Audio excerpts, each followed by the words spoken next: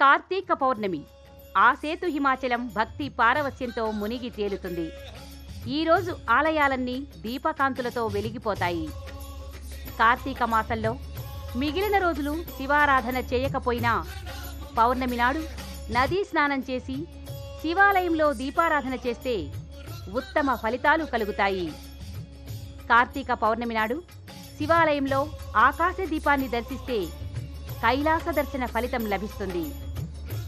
పౌర్ణమ్యాం కార్తికేతు స్నానదానంత. మాసఫలం ప్రాప్నోత్య సంశయ. పవిత్రమైన కార్తీక మాసం పుణ్య కార్యాలకే నెలవు. శాస్త్రాలు చెప్పిన విధంగా ఈ మాసంలో విధులు నిర్వర్తించటం చాలా కష్టం. శాస్త్ర విధులన్నీ నిర్వర్తించలేని వారు కనీసం ఈ కార్తీక పౌర్ణమి నాడైనా స్నాన దాన జపాదులు చేస్తే మాసమంతా సత్కార్యాలు ఆచరించిన ఫలితం లభిస్తుంది. ఈరోజు ఉదయాన్నే స్నానం చేసి దీపారాధన చేయాలి. శివపార్వతులను సుబ్రహ్మణ్యేశ్వర స్వామిని ఆరాధించాలి.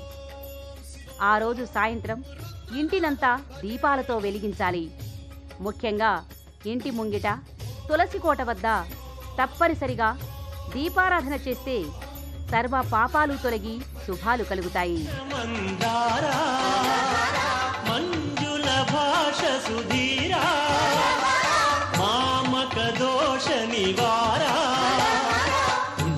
పుణ్యభవను దంజ దైత్య భంజనా హర హర. హర హర.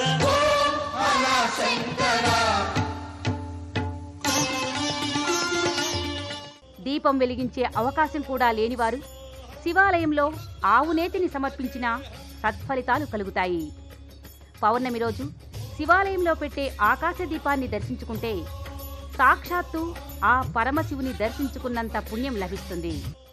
కార్తీక పౌర్ణమి నాడు నదులు కోనేర్లలో అరటి దొప్పలలో దీపాలు వెలిగించి వదిలితే స్త్రీలకు సౌఖ్యం సౌభాగ్యం కలుగుతాయి. సుఖవంతమైన వైవాహిక జీవితాన్ని పరమేశ్వరుడు ప్రసాదిస్తాడు. మాసమంతా ఇళ్ళలో దేవాలయాల్లో భక్తి శ్రద్ధలతో దీపారాధన చేస్తే ఎలాంటి అనారోగ్యము దరిచేరదు. స్థితికారునికి లయకారునికి శక్తిదాయినికి విజ్ఞానప్రదాయినికి అత్యంత ప్రీతిపాత్రమైన కార్తీక శుద్ధ పౌర్ణమి నాడు శాస్త్రాలలో సూచించిన సత్కర్మలను ఆచరించిన వారికి అన్ని శుభాలే ప్రాప్తిస్తాయి. ఇలా కార్తీక పౌర్ణమి వ్రతాన్ని ఆచరించి పురంజేయుడు సకల శుభాలు పొందాడు. శ్రీ రంగనాథస్వామిని స్మరిస్తూ వైకుంఠ దివ్యధామానికి చేరుకున్నాడు. మరి ఇంతటి మహిమగల కార్తీక వ్రతాన్ని మనము ఆచరించి పుణ్యఫలం పొందుదాము.